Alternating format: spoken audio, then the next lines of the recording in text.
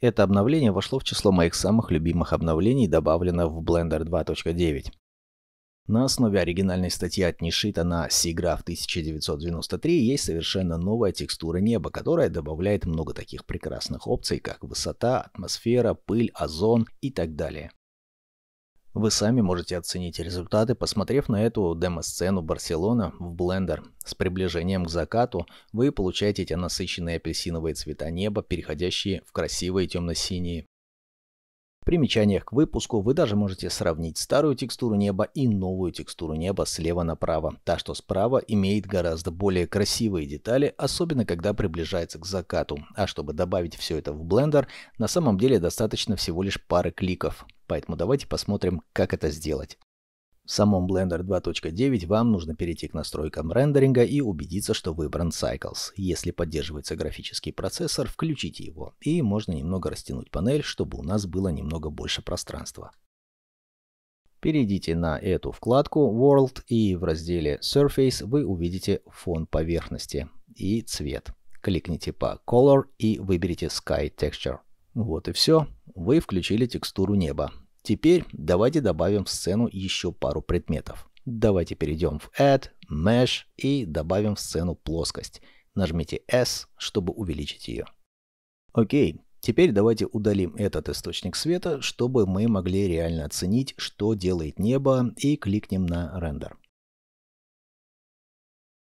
Если развернуть сцену, то где-то вдалеке можно увидеть солнце. Видите? С этими настройками можно многое сделать. Например, вы можете полностью опустить солнце или поднять вверх, скажем, в полдень. Ну вот примерно так. Солнечный диск едва различим, но если вы уменьшите пыль или напротив увеличите пыль, вы четко сможете увидеть солнечный диск, который там находится. И вы можете видеть, как это красиво влияет на нашу сцену. Мы можем задействовать воздух, и теперь у нас получилась такая классная марсианская атмосфера. И, возможно, немного смешать ее с озоном, и теперь мы на какой-то странной далекой планете. Или уберем воздух. Теперь воздуха совсем нет, и мы должно быть на краю планеты. Или, может быть, немного добавим воздуха. И совсем уберем озон, вот так, а высоту мы поднимем. Теперь вы действительно на краю Земли. Не правда ли круто? С этой новой текстурой неба от Нишита можно сделать очень много чего, мы могли бы потратить на это вечность, но есть одна интересная вещь, которую я хотел бы вам показать. Итак, давайте установим Sun Elevation на единицу, Altitude на 0, а также Air на 0, а Dust на 10.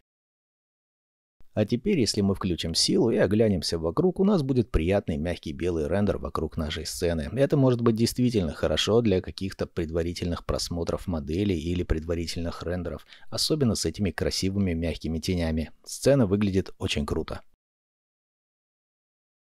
Как я уже говорил, с текстурой неба от Нишита вы сможете сделать гораздо больше, чем другими альтернативными способами. Поэтому поэкспериментируйте с этим и посмотрите, какие красивые рендеры теперь у вас будут получаться.